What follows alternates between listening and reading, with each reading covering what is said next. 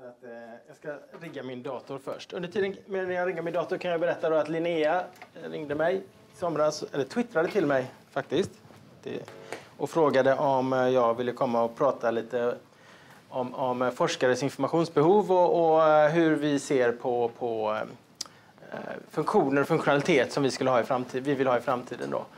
Eh, jag vet inte riktigt varför jag fick frågan, men vi har träffats på diverse webbkonferenser och sånt. Jag är alltså universitetslektor i logistik, jobbar på logistik och transport på Chalmers.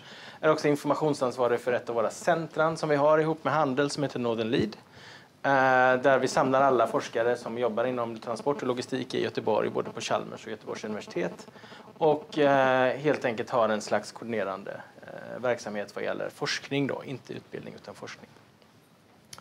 Jobbar, jobbar mycket med informationsfrågor, kommunikationsfrågor, är väldigt intresserad av det. Har varit online digital ganska länge eh, och ganska mycket. Och eh, därav då att, att eh, jag och Linnea har träffats eh, på diverse olika ställen och olika sammanhang. Vi har haft lite eh, sessioner ihop på Webcoast här i Göteborg som också är en sån trevlig konferens som ni kan skriva upp i mars varje år. Väldigt bra ställe om man är intresserad av ny teknik och webb och så. Som sagt, eh, eh, när jag gick på Chalmers så 1993. Mina slides är på engelska. Pratar alla svenska här? Kanske jag inte ska fråga på svenska. Men, eh. kan alla som inte är här räcka upp en hand. 1993 eh, eh så fick vi, fick vi eh, eh, tillgång till, vi hade ju e-post och sånt och jag började 91 eh, på Chalmers som, som teknolog på maskinlinjen. Och då fick vi e-postkonton och alla undrade vad ska vi med detta till? Vi kan ju prata med varandra istället. Vi hade mappsystem för kommunikation i korridorerna. det man la i någons mapp, det visste man att de kollade den en gång om dagen och så fick de de papperna. Så det var så lärarna skickade meddelanden till oss till exempel, de i våra mappar då. Eh, då fick vi, kommer ni ihåg den här? Mosaik, den första webbläsaren, kom 93. Eh, det var en, en, en ganska ful och dålig blandning mellan gula sidorna och text-tv de första åren. Eh, den var sämre än bägge de andra två alternativen för den innehöll väldigt, väldigt lite information och den var framförallt väldigt, väldigt, väldigt eh, ingenjörsutvecklad kan man säga. Den var grå och alla länkar var tydliga, blå eller lila. Om man hade klickat på dem. bilder kunde man inte göra någonting med mer än att man fick en lila ram runt dem. Kommer ni ihåg detta? Det var inte jättesnyggt. Det här var alltså innan. Det var den som sen blev Netscape, den här webbläsaren. Det här var den första som kom. Det andra stora problemet var att, att, att, folk som hade datorer hemma var ganska få. För datorer var väldigt dyrt och man visste inte vad ska man ha dem till. Folk som fick datorer på jobbet vid den här tiden, vad gjorde de? De spelade patiens. Det var det enda man gjorde med datorn, förutom då arbete. Och själva arbetet var inte så mycket heller med. Om det, det här var 1993 och så tittar vi då 15 år fram, vad som hände 2008. Eh, och om det här då var hur internet såg ut och internet var en fluga och allt ni vet, diskussionen som gick då, ska man verkligen hoppa på det. Eh, så kom Google Flu Trends 2008. Känner ni till den? Google.org, eh, de har en, en sajt där de eh, gör sitt, sitt sånt här välgörenhetsarbete.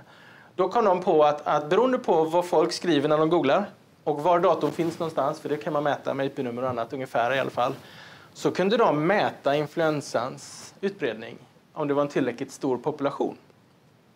Och de kunde kalibrera sin modell med eh, den officiella influensastatistiken, detta var USA då, eh, och såg att de låg tio dagar före.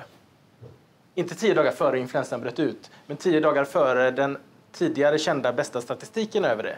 Vilket betyder att myndigheter då kunde faktiskt använda det här som ett mätverktyg för att snabbt sätta in insatser eh, om man skulle få en influensaepidemi till exempel. Eh, och eh, den här modellen rullar på fortfarande. Vi har för Sverige nu också.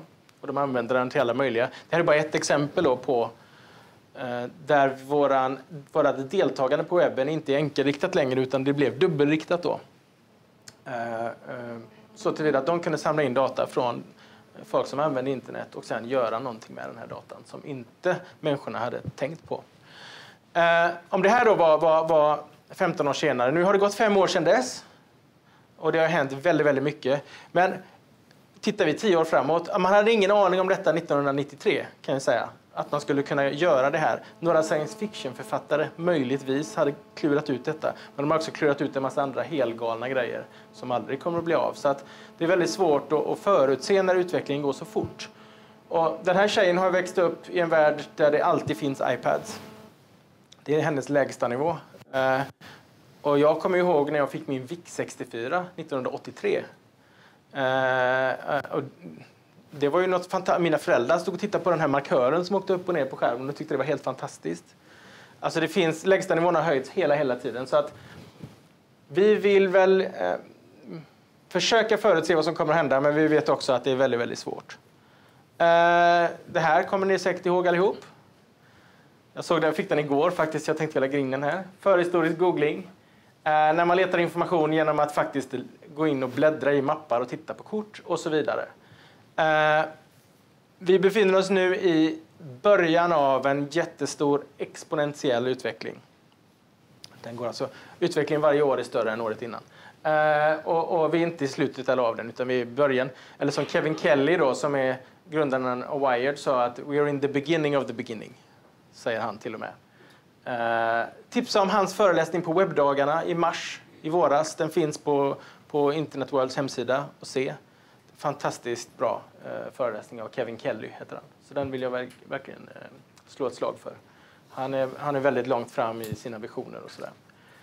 Eh, vad vi har här då är att det växer upp ett nytt globalt ekosystem med nya, inte bara nya typer, nya, helt nya branscher dyker upp som tidigare aldrig funnits. De är kunskapsbaserade, många av dem. De lever sitt liv online. Eh, och de, de tävlar med våra gamla branscher som vi har haft. Startups, som de här bolagen kallas, startups är alltså ett företag med en ny affärsidé eh, nytt sätt att tjäna pengar som tidigare inte har funnits. Som Google till exempel, som tjänar pengar på att samla in data som folk, eh, eh folk som använder deras gratisapplikationer och sen säljer de den datorn eller kapitalisera på den till tredje man. Då. Eh, ett startup konkurrerar inte med, med, med flygbolag genom att köpa flygplan, anställa piloter och hyra terminalbyggnader, utan de konkurrerar genom att uppfinna videokonferenssystem. Där har ni liksom totala omtänket som sker i så många olika branscher nu. 3D-printing, Spotify. Eh, vi har allt det här som, där man digitaliserar tidigare fysiska branscher och eh, gör det på ett helt annat sätt och kanske skänker bort sånt som har varit väldigt dyrt tidigare, navigeringstjänster till exempel, och sen kapitaliserar på det på, eh, i andra ändan. En annan smart person som jag varmt kan rekommendera är Seth Godin. Eh, han eh, är en amerikansk författare, forskare som skriver väldigt mycket om just hur den nya tiden håller på att förändra oss och hur vi förändras med den. Och han har sagt, en av hans smartare grejer är att kartan håller på att ersättas av, eller har ersatts av kompassen. Vad han menar är att du kan planera hur mycket du vill och rita en stor karta om hur du vill göra de närmsta fem åren. Och det enda du kan vara säker på är att samma, samma dag du har ritat färdigt kartan så är den inaktuell. Lägg pengarna på att bygga en bra kompass istället. Det vill säga att man snabbt ska istället se, okej, okay, vilka förändringar har skett den här veckan som vi kanske behöver anpassa oss till. Problemet med oss då, det är att vi är beroende av döda träd. Fortfarande. Trots alla, alla datorer och smartphones som ni har här så använder ni pappersmetaforer hela, hela, hela tiden. Man kallar det för dokument, när man skriver i Word till exempel. E-postmeddelande med små kuvertsymboler. Eh, när de lanserade detta på 60-talet, ja, det, är som, det är som post, bara att den går i datorn. Det finns adress och det finns avsändare och mottagare och sen innehållet. Då. Det är precis som ett vanligt kuvert. Så förklarar man ju det, för att förändringar är ju alltid, man tar ett halvt steg, man har kvar en fot i det gamla och en i det nya, så kan man lätt sälja in den här förändringen då. Att det är som det gamla, men, men annorlunda då, lite bättre. Eh, så e-post med det. PDF-dokument är inget annat än, än eh, digitala papper, fortfarande. Eh, mappar i datorer, varför kallas det mappar överhuvudtaget? Det saknar liksom relevans när man pratar om digitalt. Alltså att gå, vi måste gå över och prata från, vi behöver nya metaforer. De här gamla metaforerna, de håller inte längre. Jag har ritat, jag vet inte om det syns längst ner, ja, ni har bilder på sidan här. Jag försöker förklara hur, hur många människor man kan nå med olika medier. Om man vill ut med ett budskap till exempel. Om man går från lägerelden då, där man kanske når tiotalet personer, det är en logaritmisk skala på y-axeln här, Eh, och, och sen kan man se då eh, när print och radio, tv och annat gör, då kan man nå hundratals miljoner människor med en och samma. Men internet är det enda som spänner över hela den här skalan. Du har både en till många kommunikation, många till en kommunikation och många till många kommunikation. Det är ett helt nytt sätt att kommunicera. Och de här metaforerna funkar inte längre. Vi måste ha nya metaforer. Vi kanske måste ha en metafor som, som liknar det här. Cocktailpartyt. Twitter brukar liknas vid cocktailparty. Konversationer pågår hela tiden och man kan gå runt och lyssna på det som händer i närheten och det sker i realtid och man kan, man kan koppla ihop flera diskussioner samtidigt eller delta eller inte delta. Det finns liksom en slags eh, kaosteori i botten här att, att eh, saker som är viktiga tenderar att flyta upp. Det kanske är så här vi ska organisera vår informationshantering och vår kommunikation. Det kanske är så här. Wikipedia skiljer sig i grunden från alla andra typer av uppslagsverk genom att det inte finns en början, en mitten och ett slut.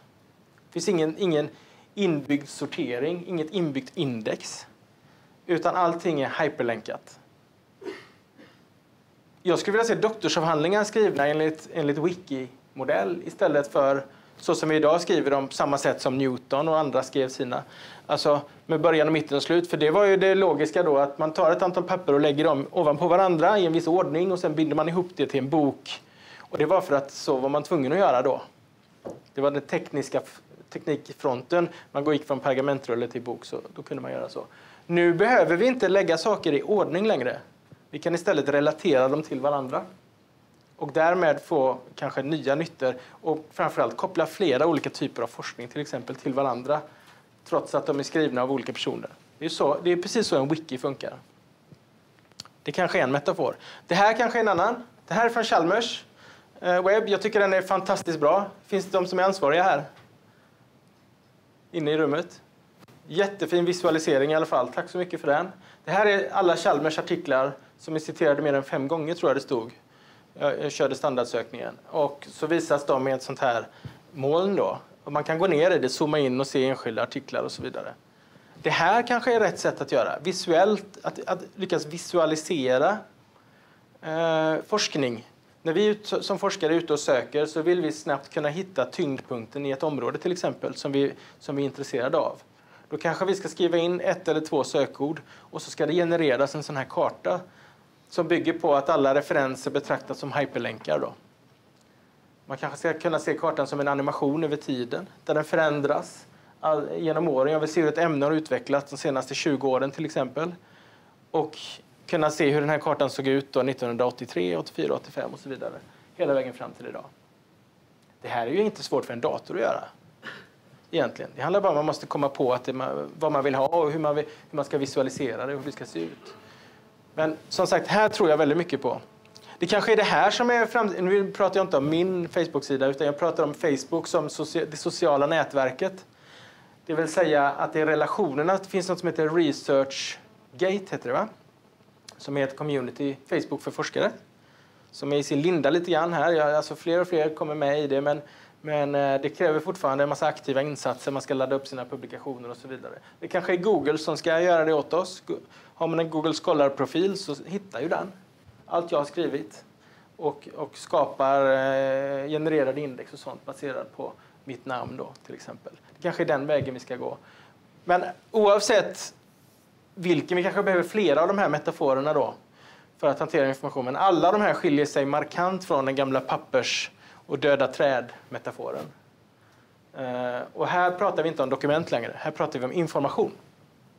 Väldigt stor skillnad mellan dokument och information. Med dokument pratar man om vem har gjort originalet, vem har skrivit på. I frakt, transportbranschen pratar vi om, det hela tiden. Vem äger, vem äger godset, vem ser fraktsedeln, vem har skrivit på och så vidare. Det har en juridisk betydelse hos oss. Eh, när vi istället vill prata om information. Vem har, vem har rätt att läsa, vem har rätt att skriva den här informationen, vem har rätt att ändra, vem har skapat informationen från början. Frikopplar man dokument från, från information och bara pratar om information så har man en helt annan typ av metaforer man skulle kunna använda då. Har ni hört talas om den här modellen? Summer-modellen. Jag ska gå igenom den. den. Den är egentligen framtagen för att se hur, hur ny digital teknologi ändrar utbildning. Jag skulle vilja säga att man kan lika gärna applicera den på hur, hur vi som forskare hanterar information och vilka verktyg vi väljer att använda. Eh, den bygger på fyra steg. Substitution, augmentation, alltså förstärkning, modifiering och redefinition, omdefiniering. När substitution, då, det är den lägsta nivån då. Eh, då byter man ut det man redan har mot, mot ett digitalt. Men, men man gör inget mer än så. När vi fick Excel på transportföretaget jag jobbade på 1989 så använde vi Excel till att rita blanketter i som vi printade och skrev på och satte in i permar. Det var vad vi använde Excel till då.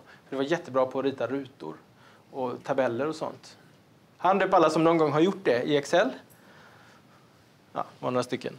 Eh, här, här finns det egentligen ingen skillnad. Man använder digitala verktyget för att kanske spara lite arbete. Eh, sen kommer man in här då med förstärkning. Jag måste bara ha med Marshall-förstärkare i mina presentationer. Eh, här använder man den digitala teknologin för att förändra eller förbättra någonting. Till exempel pdf är ju faktiskt en förbättring. Det är inte lika med en papperslapp. Du kan kopiera den oändligt många gånger. Du kan i vissa fall till och med gå in och redigera i dem. Du kan eh, ha formulär och så vidare. Så att pdf är någon slags hybrid mellan digital information och papper. Men det är fortfarande en layoutad. Man har inte separerat layout från, från innehållet. Då. Eh, då har, man, då har man förstärkt, då har man använt digital teknologi för att förstärka sitt sätt att jobba. Eh, sen kan man modifiera då, och nu börjar vi komma in på de riktigt spännande grejerna. Då, då börjar man titta, och det är många förlag som har gjort det här, att de har hyperlänkat referenser. Så att man faktiskt kan, precis som på Wikipedia, organiskt söka sig igenom ett område genom att klicka på olika referenser och olika länkar och få eh, vandra omkring där, surf, som om man surfar då egentligen. Eh, när jag läser böcker i iBooks på min iPad eller i Goodreader så har jag möjlighet att, att uh, anteckna digitalt och hantera dem som digitala dokument, spara dem i molnet. Mina studenters rapporter läser jag där och allt sånt. Jag kan skriva för hand eller på min iPad och de får alla ändringar och allt sånt. Här har man börjat modifiera sitt sätt att arbeta och ser det mer som digital information då.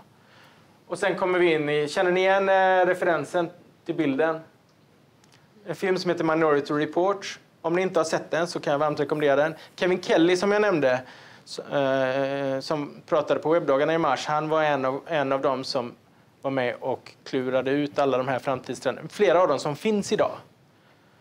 Microsoft, den här Xbox Kinect, det är ju det han har här egentligen då. Uh, touchgränssnittet där man zoomar och sådär, det var de som kom på det. Massa saker finns där. Sen finns det lite övernaturligt i den filmen också. Men mycket av det de gjorde eh, är seriösa alternativ då som man man pratar om idag. Här använder man digital teknologi för att omdefiniera vad man gör. Man tittar på innehåll före format. Format är egentligen ointressant. Eh, man har helt gått över och pratar bara om information och inte om layout eller, eller informationsbärare. Eh, big data har ni hört talas om, förutsätter jag. Google eh, Flutrends är ett exempel på det där. Det, finns, Eh, det skrivs väldigt mycket om det nu. Framförallt skrevs det ännu mer om det för ett år sedan ungefär. Just nu är det 3D-printing som är det hetaste. Men för ett år sedan var det big data. Då. Eh, och det handlar om att, att göra stora visualiseringar men också att ha interaktiv data, att man kan interagera med den. Låt säga då att, att man har en sån här moln över visualiserade artiklar och att jag, jag ska kunna interagera med det genom att gå in och dra i en länk där och se hur de andra grupperar om sig. Alltså, interagera med stora datamängder som inte går att visa i tabeller egentligen. Så det är den här. Ehm, så här har vi liksom så som jag lite grann ser på hur utveckling sker. Då är frågan, vad vill jag då? Jag skulle berätta min dröm här och vad jag vill ha. Ja, jag vill ha, jag vill ha uh, wearable technology. Google Glass har ni hört talas om? Det är ett bra första steg. Det är, det är, de är rätt klumpiga, de sitter framför ett öga. Jag vill ju ha bägge ögonen. Jag vill ju ha det inopererat helst. Eh, kontaktlinser kan man ju ha, men det går lika bra att byta ut en lins i ögat. Det finns inget som säger att vi inte kan göra det om 5, 6, 7, 8 år. Strömförsörjning är väl ett problem då. Eh, man får operera in något batteri i skallbenet här eller någonting. Jag vill ju ha det i öronen också. Naturligtvis. Jag vill, jag vill, kunna, jag vill kunna interagera med data på ett fysiskt sätt. Eh, utan massa devices. Nu har vi våra, våra mobiler och sånt och de funkar jättebra för att göra oss till cyborgs men vi kommer att komma mycket, mycket, mycket längre än så. Uh, ja, det handlar om att jag vill ha en, man pratar om dashboards. Jag vill kunna eh, jag vill kunna interagera med datan på ett sånt sätt så att jag inte behöver ha ett tangentbord eller ha tillgång. Jag vill kunna blinka tre gånger med höger öga och pilla med tungan på en tand här för att eh, jag ska kunna googla det jag just nu tänker på. Eller något sånt då, ni förstår. Eh, så jag vill ha smarta sökmotorer. Inte dumma sökmotorer. Jag vill ha smarta sökmotorer som faktiskt förutser vad jag gillar. Det har Google börjat jobba med det där, men det, det finns mycket att göra. Som forskare så är man nog ännu mer lätt och lättdefinierad än som vanlig random googlare, tror jag. Det går faktiskt att, att bygga upp kunskap om, om vad en enskild person oftast vill söka. Problemet är att man dränks av information då. Så att det, det, man brukar säga att det inte är information overload, det är filter failure. För det har alltid funnits för mycket information. Så att här handlar det om, och det har med de här dashboards och sånt att göra också. Jag vill bara se information som är relevant för mig. Så det måste göras relevansbedömningar, bortfiltreringar. Så att det som, om jag nu ska operera in allting i mitt huvud. De har förresten eh, lyckats skicka tankar från en person till en annan via teknologi nu, såg jag för två veckor sedan. Forskare. Det kan vara sån här, eh, att den ena har någon form av mottagare på sig och den andra har en sändare och så tänker han röd och så ska den andra förstå det. Då. Eh, så vi börjar närma oss då. Vi närmar oss hjärnan. Eh, och då gäller det att ha smarta filter så att inte vi dränks av data. Och sen vill jag ha smarta visualiseringar. Det här är ett jättebra exempel på en sån. Och det, googlar man på det så finns det ganska många olika sätt att visualisera forskningsartiklar och sånt där. Så att världen är helt klart på rätt väg där, tycker jag då. Och sen vill jag ha väldigt smarta användargränssnitt. Tangentbord i all ära, men de var gjorda för att man inte skulle kunna skriva för fort på skrivmaskiner. För då skulle typerna hänga sig. Därför har vi vårt QWERTY-tangentbord idag. Eh, det finns betydligt bättre sätt att interagera. Det har börjat komma ganska bra röststyrning nu. Både Google Glass och, och eh, Apple har, har eh, hyfsad röststyrning och den blir bara bättre och bättre. Den här. Så det här vill jag ha då, eh, i den här. Då, naturligtvis. Jag vill inte ha det i min dator eller något. Jag vill ha det i den här. Eller jag vill ha det i mina, mina öron, jag vill ha det i mina hörlurar. Det finns ingen anledning till att jag inte skulle kunna ha det. Interagera med data. Eh, på ett sånt, eller, eller varför inte i mina Google-glasögon då? Nu har jag tyvärr inte fått några sådana än. Eh, man, eller kanske till och med bara man jackar in sig helt enkelt, som i The Matrix då. Och så blir man en del av den här digitala världen. Så det är det liksom... Förstår ni vad jag är ute efter lite grann? Jag vill bli, jag vill bli av med beroendet från alla prylar jag håller i handen och kunna interagera med det här digitala ekosystemet fritt. Och då är mitt jobb en del av det. Min fritid är en annan del av det som är minst lika viktig. Jag vill kunna interagera med, jag vill kunna se ansiktsigenkänning och så vill jag kunna se ditt Facebookflöde hängande i luften bredvid dig. Eh, I princip, och vad du åt till frukost. Så. Eh, jag, vill ha det, jag vill ha det anpassat enbart för mig. Jag vill inte ha en standardlösning. Som det här då. Uh, nu, ska vi, uh, nu ska vi ha en standardtest. De som klättrar, träd, trä, klättrar upp i trädet bäst klarar vår utbildning bäst. Det är en väldigt bra uh, metafor det här för att, att man måste individualisera och här är en jätteutmaning då, när man bygger system för standardisering, storskalig drift och allt sånt. Alltså det är å ena sidan. Och sen individuella krav å andra sidan som kanske inte alltid matchar. Då. Så vilka, vilka problem har vi? Jag hade roligt på kontoret igår. Vilka, vilka problem har vi då? Eh, ja, här har vi ett av dem. Jobbet måste göras för någon. Och eh, det är som sagt var att det är mycket, mycket enklare att göra som vi alltid har gjort. Mycket enklare att göra som vi alltid har gjort. Förändra det som redan finns istället för att ta hela vägen till steg fyra och redefine då. Eh, det är en evolutionsprocess, men det, det, det, och sen alla idéer är inte lika bra heller. Astmacigaretter var kanske en bra idé den dagen de kom. Eller varför inte kokaindroppar för tandvärk? Funkade kanske då. Eh, eller den här Isolator som han uppfann då, American Physical Society. Jag, jag tror det var för att kunna jobba ostört som han gjorde den där. Han hade väl barn hemma då. Så. Eh, som sagt, alla idéer är inte lika bra. Som forskare så är vi väldigt, väldigt måna om kvaliteten på informationen som vi hittar. Alltså det här med peer review och sånt, det systemet måste fortfarande finnas kvar. Eh, så det går inte att ersätta det vi gör med Wikipedia till exempel. Där i och för sig peer-granskningen är öppen och ständigt pågående. Diskussionen finns alltid med bakom. Men vi vill ändå kunna sätta vår tilltro till att ja, men det här är granskat av duktiga människor och så vidare. Eh, och precis som med, med, eh, alltså någon måste göra jobbet. Här har vi Ivan i gropen, alla andra är chefer då, eh, som bestämmer vad han ska göra. Och samma gäller i forskning då, alltså att vi kan inte, vi kan inte låta datorn forska fram nya rön åt oss, utan det måste vi göra. Men vi vill kunna jobba med det som är viktigt då och kunna lägga tid på eh, det som också är det roliga med forskning och det är inte att leta i databaser egentligen. Den informationen, vad andra har gjort tidigare, det vill vi kunna ha så direkt. Sen är det så att vissa, vissa, vissa vill inte ändras. Jag vet inte om de känner igen sig eller sin IT-avdelning i den här eh, bilden, men, men eh, det spelar ingen roll. Det kan vara, det kan vara HR-avdelningen eller det kan vara VDn som inte, inte vill, som har våga väggar och Facebook-knapp på kavajen till exempel. Eller något sånt. Det spelar ingen roll. Det är människor det handlar om, så att det finns alltid en förändringsovilja. Och, och, det är väl det är inte tekniken som är det största hindret. Ja, det här med kontaktlinser och sånt, det, det är ju spjutspetsforskning. Men det här med att kunna googla eh, lite smartare och sånt, eller att kunna använda, använda visualiseringshjälpmedel och sånt, det är inte tekniken. Så det handlar lite grann om att man måste ändra sina vanor då. Och man måste kanske vilja ändra sina vanor. Och det är inte lika bekvämt som att stanna kvar i den här komfortzonen då, eh, som man har. Sista avrundningen här. Det är klart att det går att ändra de här systemen och det är klart att det går att evolvera. Och bara tillräckligt många finns som efterfrågar så, så kommer saker att hända när det handlar om att interagera med informationen som redan finns idag så finns det ju många som använder de här publika API-erna och Google Scholars API för att skapa nya häftiga tjänster för att interagera med vetenskaplig publicerad data. Då. Eh, vi har inte kommit till Wikipedia än, Eh, där en artikel inte är jag menar, ett paper. Hallå. Liksom, det hör man ju att det är pappers.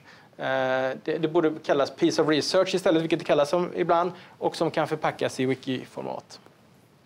Eh, den här ser jag utanför mitt kontor varje dag. Det är Chalmers entreprenörsskola tror jag som har satt upp den. Och det är en fantastiskt bra, bra påminnelse om att det är helt okej okay att inte hålla med alla andra hela tiden. Sen måste jag fjäska lite. Eh, den här kanske ni har sett, men den tycker jag är jättebra. Universitetsbibliotek har inte lika många drakar och demoner i, eller ja, det kanske de har också. Men det är lite grann så att, att det finns något fint i att lagra all den här kunskapen också, eh, som man måste bevara. Eh, och det måste finnas någon som är förvaltare av detta. Det går inte att låta ett kollektiv eh, förvalta något som kanske några få personer hade gjort bättre. Så sista bilden, jag vet att tiden är ute. Vi har eh, några idéer. Vi kanske inte är helt clueless, men om tio år kommer det att finnas saker idag som, vi in, som ingen har kommit på idag. Som kommer att utvecklas av tonåringar som sitter på sina rum och är missnöjda med någonting. Det kommer inte att utvecklas av storföretagen. De kommer att göra vissa saker. Utan det, det kommer att komma underifrån. Eh, saker som vi som sagt aldrig har kunnat föreställa oss tidigare. Och det ser jag fram emot. Tack. Tack.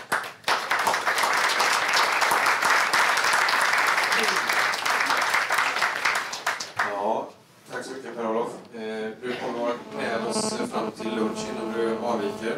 Till och med lunch. Till och med lunch. Eh, Sen måste jag. Så om det är någon som har en brinnande fråga så kan du ställa nu eller så kan ni vara tysta för evigt. eller så kontaktar ni Per-Olof. Ja, det går också bra.